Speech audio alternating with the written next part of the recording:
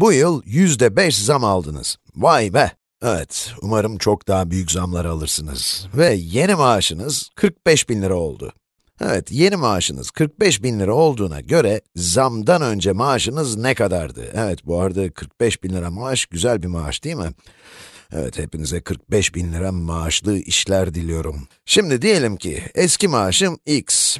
x eşittir eski maaş ve bu maaş üstünden de yüzde beş zam almışım. Yani x artı x'in yüzde beşi, evet artı x'in yüzde beş fazlası buradaki benim zammım işte, benim yeni maaşıma eşit olacak. Burada yeni maaşımın ne olduğu zaten söylenmiş, 45 bin lira. Evet, 45 bin lira.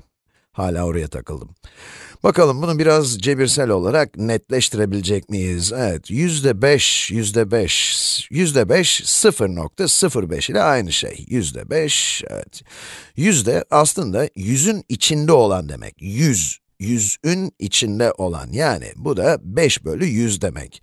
Yüzde 5, evet. 0.05 ile aynı şey. Demek ki burada 1x artı, bu x'i biraz daha güzel yazalım, evet 1x artı 0.05x eşittir 45.000, evet.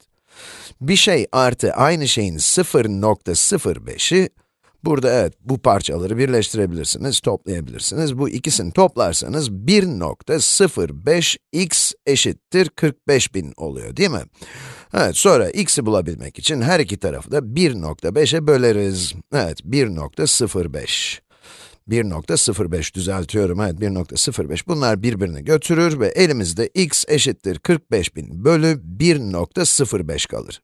Şimdi bakalım bu neymiş? Yani 45, 45 bin lira bölü 1.05 eşittir. Evet, 42.857 bin lira. Evet, 42.857. Evet, bu sizin geçen yılki geliriniz, maaşınız. Evet, bakalım bu mantıklı bir sonuç mu? Bakalım e, doğru yapmış mıyız? Evet, kontrol edelim. Şununla başlarsak, bunun, yani 42.857'nin yüzde 5'ine alalım. Evet, 0.05 ile çarpalım. Yani aldığımız zam miktarını bulduk. Güzel. Artı, artı daha önceki maaşım. Yani 42.857. Evet. Ve sonuç, evet hemen hemen 45 bin lira çıktı. 14 kuruş altında. Yani 45 bin lira doğru bir cevap. Güzel. Evet, şimdi bir sonraki. 14'e 18 bir odayı halıyla kaplatmak 250 lira tutuyormuş. 9'a 10 bir odayı kaplatmak ne kadar tutar? Evet, bu arada buradaki değerler metre cinsinden. Evet, bir odayı daha önce halıyla kaplatmadığınızı varsayarsak, bir odayı kapladığı alan hesabıyla kaplatırsınız. Yani metrekare olarak hesaplarsınız. Bu yüzden buradaki bilgiyi kullanarak metrekare hesabını yapabiliriz. Bir metrekarenin tutarı, bir metrekarenin tutarı bu durumda 14'e 18. Yani kaç metrekare eder? Hemen çarpalım 14 ile 18'i. Evet, 4 kere 8, 32, 1 kere 1, 1, artı 3, 7 eder, 0, 1 kere 8, 8, 1 kere 1, 1, 2, 15, evet, yani 252 metrekare ediyormuş. 14 kere 18, 252 metrekare. Evet, ilginç bir rakam oldu bu çünkü neredeyse 1 metre 1 liraya geliyor. Ama tam olarak 1 metre 1 liraya gelmiyor. O yüzden eğer 1 metrenin kaça geldiğini bulmak istiyorsak, 252 metre için 250 lira demişler. Evet, metrekare 1 liradan biraz daha az bir rakama denk geliyor. Evet, yaptığım işlemi bir kontrol edelim.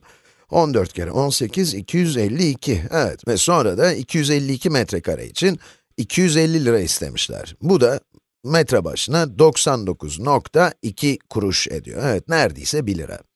Evet, peki bunu bir fonksiyon olarak yazarsam, metrekare cinsinden bizden, bunu alan cinsinden yazalım. Evet, a alanı temsil etsin.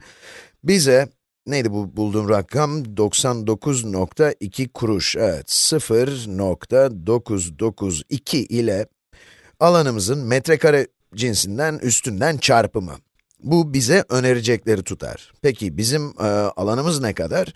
9 çarpı 10, yani 90 metrekare.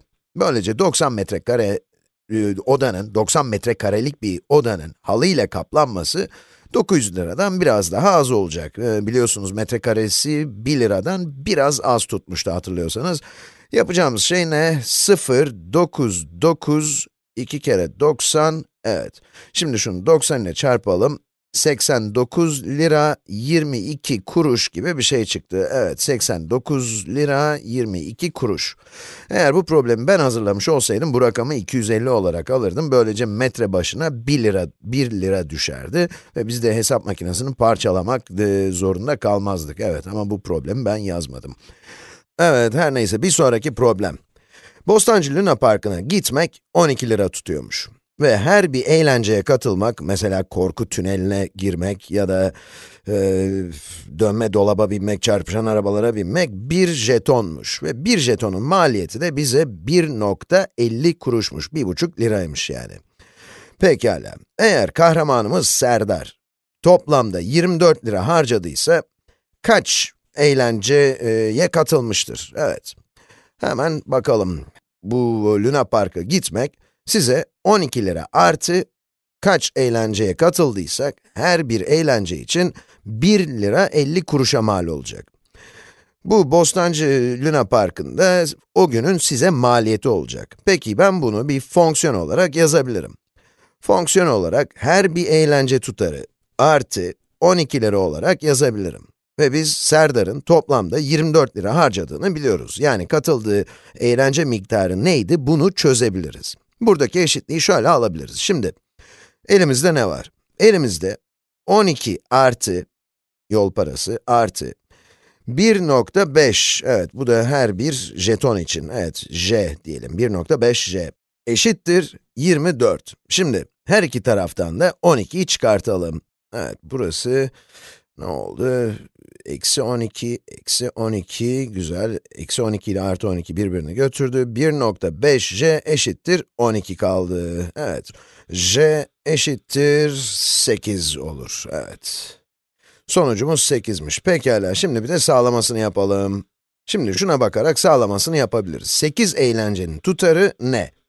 12 artı 1.5 kere 8 eğlence, bu da bu da 12 lira artı 1.5 kere 8, evet 12'ye eşit olacak. Yani bu da 24 liraya eşit oluyor ve böylece problemimizin sağlamasını da yaptık. Evet, hadi bir tane daha yapalım. Bir üçgendeki iç açılar toplamı 180 derecedir. Bunu bilmek zaten genel olarak iyi bir şey. Bunu birçok kez geometride de görmüşsünüzdür. Eğer ikinci açı, evet şunu yazayım, şuraya sıradan bir üçgen çizeyim. Evet, bu, bu benim üçgenim. Eğer ikinci açı, birinci açının iki katı ise, o zaman şu ilk açımı yapayım. Diyelim ki bu benim ilk açım x olsun. İlk açım. İkinci açı, birinci açının iki katı. Diyelim ki bu da ikinci açı, bu da 2x. Yani üçüncü açı da şunun 3 katı. Bu da 3x oldu o zaman değil mi? Peki, üçgenin içindeki açıların dereceleri nedir? Burada hepsinin toplamının 180 derece olduğunu söylüyor ki zaten hepimiz biliyoruz. Yani, x artı 2x artı 3x, 180 dereceye eşit olması gerekiyor. Hatta bunu 1x olarak da yazabilirim. Evet, orada bir parça olduğunu daha hatırlamak için. Böylece bir şeyin bir tanesi artı o şeyin iki tanesi artı yine o şeyin üç tanesi ne eder? Bu da o şeyin altı tanesi eder. 1 artı 2 artı 3 yani 6x eşittir 180 derece. Güzel.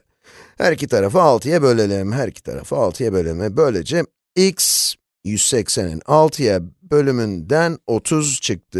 Böylece buradaki açı 30, buradaki açı x'in 2 katı yani 2x 60 ve buradaki açı da x'in 3 katı yani 90. Peki şimdi bakalım bu bizim bulduğumuz sonuçla uyuşuyor mu, örtüşüyor mu? 30, 60, 90. Kesinlikle 180 ediyorlar değil mi? 30 artı 60, 90, 90 artı 90, 180 ve eğer buradaki sonuca bakarsak, ikinci açı, birinci açının iki katı. Evet, 60, 30'un iki katı ve üçüncü açı da birinci açının üç katı. Evet, 90 da 30'un üç katı eder. Yani yaptığımız, bulduğumuz sonuç demek ki doğruymuş.